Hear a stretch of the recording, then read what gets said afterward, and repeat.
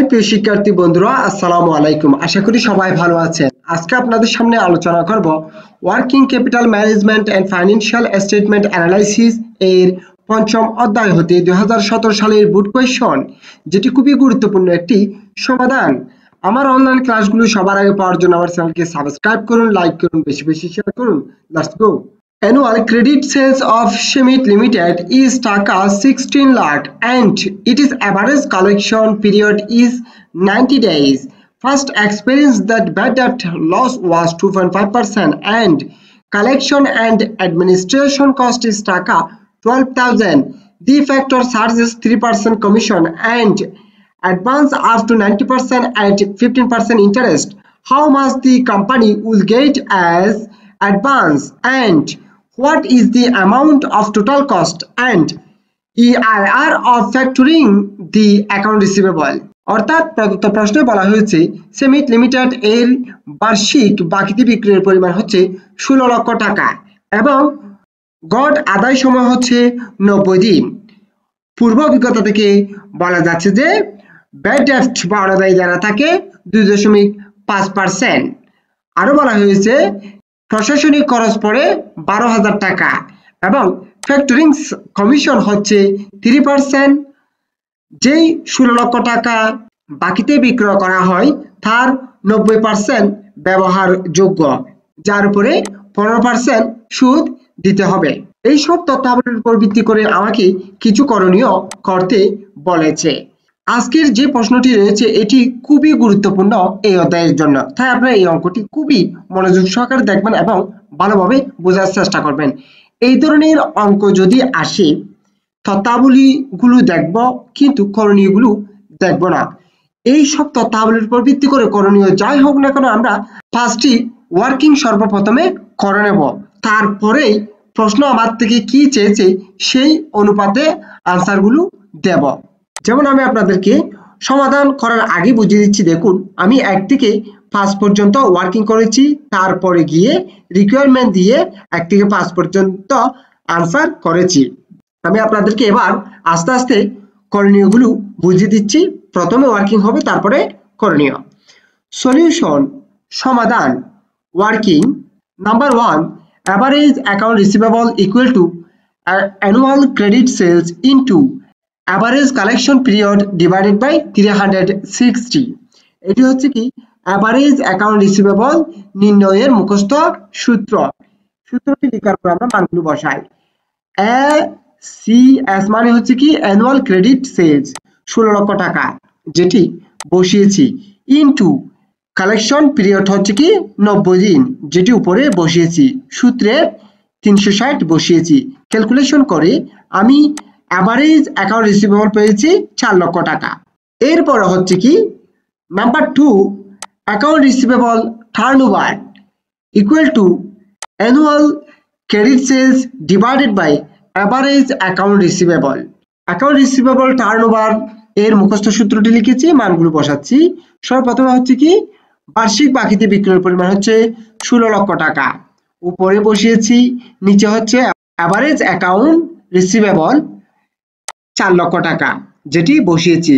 ষোলো লক্ষকে যদি চার লক্ষ দিয়ে ভাগ করি, তাহলে হচ্ছে account receivable turnover four times এরপর হচ্ছে কি? Number three periodic interest rate কালান্তিক সুদের হার নির্ণয়ের মুখস্থ সূত্র হচ্ছে interest rate divided by account receivable turnover প্রদত্ত প্রশ্নে সুদের হার দেওয়া হয়েছে পনেরো পার্সেন্ট যেটি উপরে বসিয়েছি। নিচে হচ্ছে অ্যাকাউন্ট রিসিভেবল টার্ন ওভার তাই এই যে ফোর বসিয়েছি। পনেরোকে যদি চার দিয়ে ভাগ করি, তাহলে হচ্ছে three point seven five percent periodic interest rate এরপরে আছে number four net periodic advance NPA এর জন্য একটি ছক অঙ্কন করব, ঠিক এভাবে পার্টিকুলার্স টাকা। এরপরে এখানে সর্বপ্রথমে আসবে অ্যাভারেজ অ্যাকাউন্ট রিসিভেবল যেটা আমি ওয়ার্কিং ওয়ানে নির্ণয় করেছি চার লক্ষ টাকা। এটি বসিয়েছি। এখান থেকে বাদ যাবে যেই কত টাকা রিজার্ভ থাকবে। প্রদত্ত প্রশ্নে বলেছে advance up to ninety percent অর্থাৎ অ্যাডভান্সের ওখানে থাকবে নব্বই পার্সেন্ট যার দশ পার্সেন্ট হচ্ছে সঞ্চিত আকারে থাকবে। তাই অ্যাভারেজ অ্যাকাউন্ট রিসিভেবল থেকে লেস রিজার্ভ চার লক্ষ টাকা into ten percent equal to চল্লিশ হাজার টাকা। এই দশ পার্সেন্ট হচ্ছে প্রদত্ত প্রশ্নে advance up to ninety percent মানে হচ্ছে কি, একশো থেকে যদি নব্বই চলে যায় তাহলে দশ পার্সেন্ট রিজার্ভ থাকবে। সেজন্য এই দশ পার্সেন্ট বাদ দিয়েছি অ্যাভারেজ অ্যাকাউন্ট রিসিভেবল থেকে। এর নাম হচ্ছে গ্রস অ্যাডভান্স তিন লক্ষ ষাট হাজার টাকা। চার লক্ষ থেকে যদি চল্লিশ হাজার টাকা চলে যায়। এই গ্রস অ্যাডভান্স থেকে বাদ দিতে হবে ফ্যাক্টরিং কমিশন প্রদত্ত প্রশ্নে ফ্যাক্টরিং কমিশন দেওয়া হয়েছে, এই যে three percent the factor search three percent commission তিন পার্সেন্ট কমিশন বাদ যাবে। তাই বাদ দিচ্ছি। ফ্যাক্টরিং কমিশন নির্ণয় করা হয় অ্যাভারেজ অ্যাকাউন্ট রিসিভেবল থেকে। অ্যাভারেজ অ্যাকাউন্ট রিসিভেবল হচ্ছে চার লক্ষ টাকা, এরপরে কমিশন হচ্ছে তিন পার্সেন্ট সমান হচ্ছে বারো হাজার টাকা। তিন লক্ষ ষাট হাজার টাকা থেকে যদি বারো হাজার টাকা বাদ দিই, তাহলে তিন লক্ষ আটচল্লিশ হাজার টাকা তাকে, যার নাম হচ্ছে অ্যাডভান্স এই অ্যাডভান্স থেকে বাদ দিতে হবে ইন্টারেস্ট লেস ইন্টারেস্ট হচ্ছে এই যে অ্যাডভান্সের উপরে। তিন লক্ষ আটচল্লিশ হাজার টাকা লিখেছি। Into three point seven five percent three point seven five percent হচ্ছে এই যে আমি তিন নম্বরে নির্ণয় করেছি three point seven five percent এটি তিন লক্ষ আটচল্লিশ হাজার টাকার উপর যদি three point seven five percent প্রয়োগ করি, তাহলে হয় তেরো হাজার পঞ্চাশ টাকা। তিন লক্ষ আটচল্লিশ হাজার টাকা থেকে তেরো হাজার পঞ্চাশ টাকা বাদ দিলে হয় তিন লক্ষ চৌত্রিশ হাজার নয়শো পঞ্চাশ টাকা, যার নাম হচ্ছে নেট পিরিয়ডিক অ্যাডভান্স চার নম্বর শেষ, এবার হচ্ছে পাঁচ নম্বর। পাঁচ নম্বর হচ্ছে নিট পিরিয়ডিক কস্ট এর জন্য একটি ছক অঙ্কন করতে হবে পার্টিকুলার্স টাকা দিয়ে।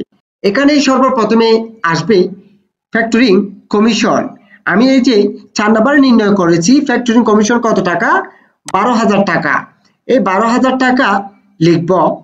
লিখার পরে এই ফ্যাক্টরি কমিশনের সাথে যোগ করতে হবে সুদ। তাই লিখেছি অ্যাড ইন্টারেস্ট এটি হচ্ছে ওয়ার্কিং ফুড থেকে আসবে। এই যে ইন্টারেস্ট নির্ণয় করেছি তেরো হাজার পঞ্চাশ টাকা। এই তেরো হাজার পঞ্চাশ টাকা যদি এখানে লিখি বারো হাজারের সাথে যদি তেরো হাজার পঞ্চাশ টাকা যোগ করি টোটাল হচ্ছে পঁচিশ হাজার পঞ্চাশ টাকা। এর নাম হচ্ছে টোটাল কস্ট আমার থেকে টোটাল কস্ট হয়েছে। এখান থেকে বাদ দিতে হবে প্রশাসনিক খরচ এবং ব্যাড ডেফট ব্যাড এর হার দেওয়া হয়েছে প্রদত্ত প্রশ্নে টু পয়েন্ট ফাইভ পার্সেন্ট তাই লিখেছি bad four lakh into two point five percent equal to ten thousand আমি আপনাদেরকে আরেকটি কথা বলেছি ব্যাড সবসময় নির্ণয় করতে হবে অ্যাভারেজ অ্যাকাউন্ট রিসিভেবল এর উপরে। তাই চার লক্ষ টাকা লিখেছি। ব্যাড ডেফট শেষ। এরপর হচ্ছে অ্যাডমিনিস্ট্রেটিভ এক্সপেন্স প্রদত্ত প্রশ্নে অ্যাডমিনিস্ট্রেটিভ এক্সপেন্স দেওয়া হয়েছে। Administrative cost is taka twelve thousand অর্থাৎ বারো হাজার টাকা প্রশাসনিক খরচ দেওয়া হয়েছে এক বছরের জন্য। তাই আমি লিখেছি অ্যাডমিনিস্ট্রেটিভ এক্সপেন্স বারো হাজার ভাগ করেছি চার, সমান হচ্ছে তিন হাজার টাকা। এই বারো হাজার টাকা হচ্ছে এক বছরের জন্য প্রশাসনিক ব্যয়। কিন্তু আমি যে অ্যাকাউন্ট রিসিভেবল টার্ন ওভার নির্ণয় করেছি, সেটা দিয়ে এক বছরের কস্টকে ভাগ করতে হবে। আমি অ্যাকাউন্ট রিসিভেবল টার্ন ওভার নির্ণয় করেছি কত? ফোর তাই বারো হাজারকে ফোর দিয়ে ভাগ করে তিন হাজার টাকা নির্ণয় করেছি। দশ হাজার যোগ তিন হাজার সমান হয় তেরো হাজার টাকা। পঁচিশ হাজার পঞ্চাশ টাকা থেকে যদি তেরো হাজার টাকা বাদ দিই, তাহলে হচ্ছে বারো হাজার পঞ্চাশ টাকা। এটি হচ্ছে কি নিট পিরিয়ডিক কস্ট আমি আপনাদেরকে প্রথমেই বলেছিলাম, এ ধরনের প্রশ্ন যদি দেওয়া থাকে, তাহলে পাঁচটি ওয়ার্কিং আস্তে আস্তে করতে হবে। তাই আমি ধারাবাহিকভাবে পাঁচটি ওয়ার্কিং করে নিয়েছি। এরপরে হচ্ছে আমার রিকোয়ারমেন্ট এই যে আমি রিকোয়ারমেন্ট লিখেছি। প্রশ্ন প্রশ্নপত্রে কি কি চেয়েছি সেটি দেখি এবার। প্রথমে বলেছিল how much the company will get as advance এটি একটি করণীয়। প্রদত্ত প্রশ্ন অ্যাডভান্স আকারে কত টাকা অর্জন করবে সেটি। তাই আমি লিখেছি number one company get net periodic advance NPA সমান তিন লক্ষ চৌত্রিশ হাজার নয়শো পঞ্চাশ টাকা। এটি হচ্ছে কি? ওয়ার্কিং ফোর এর এই ফলাফলটি। দেখুন নিট পিরিয়ডিক অ্যাডভান্স তিন লক্ষ চৌত্রিশ হাজার নয়শো পঞ্চাশ টাকা। একটি শেষ করণীয় এরপরে আছে what is the amount of total cost অর্থাৎ মোট ব্যয় কত? Required to total annual cost of factoring বার্ষিক মোট ব্যয় সমান net periodic cost into account receivable turnover এটা হচ্ছে কি? মুখস্থ সূত্র। সূত্রটি লেখার পরে, এই যে আমি পেয়েছি নিট পিরিয়ডিক কস্ট বারো হাজার পঞ্চাশ টাকা এটি লিখেছি। ইনটু অ্যাকাউন্ট রিসিভেবল টার্নওভার পেয়েছি কত? ফোর বারো হাজার পঞ্চাশ টাকাকে যদি চার দিয়ে গুণ করি তাহলে হয় আটচল্লিশ হাজার দুইশো টাকা টোটাল কস্ট আমার দুটি করণীয় শেষ। এরপরে আরও প্রদত্ত প্রশ্ন চেয়েছে EIR of factoring the account receivable অর্থাৎ দেনাদার এর কার্যকরী সুদের হার কত? এখন আমরা সেটি নির্ণয় করব। Required three effective interest rate EIR equal to 1 plus R whole to the power n minus 1 into 100 অর্থাৎ কার্যকরী সুদের হার নির্ণয়ের মুখস্থ সূত্র হচ্ছে এটি। সূত্রটি লিখার পরে আমরা মানগুলোকে সংক্ষিপ্ত আকারে সাজাবো। Here one plus R R মানে হচ্ছে কি? Rate of return R equal to net periodic cost divided by net periodic advance এটি সুদের হার নির্ণয়ের জন্য মুখস্থ সূত্র। নিট পিরিয়ডিক কস্ট আমি প্রদত্ত প্রশ্নে নির্ণয় করেছি কত? বারো হাজার পঞ্চাশ টাকা। এবং নিট পিরিয়ডিক অ্যাডভান্স নির্ণয় করেছি তিন লক্ষ চৌত্রিশ হাজার নয়শো পঞ্চাশ টাকা। তাই এটি লিখেছি বারো হাজার পঞ্চাশ টাকা ডিভাইডেড বাই তিন লক্ষ চৌত্রিশ হাজার নয়শো পঞ্চাশ টাকা। বারো হাজার পঞ্চাশ টাকাকে যদি তিন লক্ষ চৌত্রিশ হাজার নয়শো পঞ্চাশ টাকা দিয়ে ভাগ করি, তাহলে হয় zero point zero three five nine seven double five one eight. এরপর হচ্ছে কি, হল to the power N N মানে হচ্ছে কি, number of year N equal to four years four years এই এন হচ্ছে কি অ্যাকাউন্ট রিসিভেবল টার্ন আমার মানগুলো নির্ণয় শেষ আবার আমরা মানগুলো বসাই। One plus zero point zero three five nine seven double five one eight এটি যোগ করে আমি এখানে বসিয়েছি হল টু দি পাওয়ার এন এর পরিবর্তে ফোর বসিয়েছি মাইনাস সূত্রের ওয়ান ইন্টু হান্ড্রেড ক্যালকুলেশন করে আমি এফেক্টিভ ইন্টারেস্ট রেট পেয়েছি কত? Fifteen point one nine percent আমার রিকোয়ার্ড তিনটি শেষ। আমি আবার বলতেছি আমাকে একটি প্রশ্ন দেওয়া হয়েছে। এই প্রশ্নের উপর ভিত্তি করে আমাকে কিছু করণীয় করতে বলেছে। আমাদের এই রকম যদি প্রশ্ন আসে, আমাদের কি কি করণীয় করতে বলেছে সেটি আমরা চিন্তা করব না। আগে ফার্স্টে করণীয় ধারাবাহিকভাবে করে ফেলব, তারপরে আমরা করণীয়গুলো দেখে দেখে করণীয় আকারে নাম্বার ওয়ান নাম্বার টু দিয়ে লিখব। যে করণীয়গুলো আমরা সর্বপ্রথমে করব, সেগুলো হচ্ছে কি? সূত্র অ্যাপ্লাই করে number one receivable equal to annual credit sales in average collection period divided by three hundred sixteen এটি ব্যবহার করে আমরা অ্যাভারেজ অ্যাকাউন্ট রিসিভেবল নির্ণয় করব। এরপর হচ্ছে কি? Account receivable turn over equal to annual credit sales divided by average account receivable এই সূত্রটি ব্যবহার করে অ্যাকাউন্ট রিসিভেবল টার্ন ওভার নির্ণয় করব। নাম্বার থ্রিতে নির্ণয় করব পিরিয়ডিক ইন্টারেস্ট রেট যে ইন্টারেস্ট রেটটি দেওয়া থাকবে ওই ইন্টারেস্ট রেটকে অ্যাকাউন্ট রিসিভেবল টার্ন ওভার এর মান দিয়ে ভাগ করে যেটি পাবো সেটি হচ্ছে কি পিরিয়ডিক ইন্টারেস্ট রেট এরপর হচ্ছে number four net periodic advance এই নিট পিরিয়ডিক অ্যাডভান্স এখানে একটি চক অঙ্কন করে। সর্বপ্রথমে বসাবো অ্যাভারেজ অ্যাকাউন্ট রিসিভেবল এখান থেকে বাদ দিতে হবে রিজার্ভ বাদ দিয়ে যেটি পাবো সেটি হচ্ছে কি গ্রস অ্যাডভান্স এখান থেকে বাদ দিতে হবে কমিশন কমিশনটি নির্ণয় করতে হবে অ্যাভারেজ অ্যাকাউন্ট রিসিভেবল এর উপরে।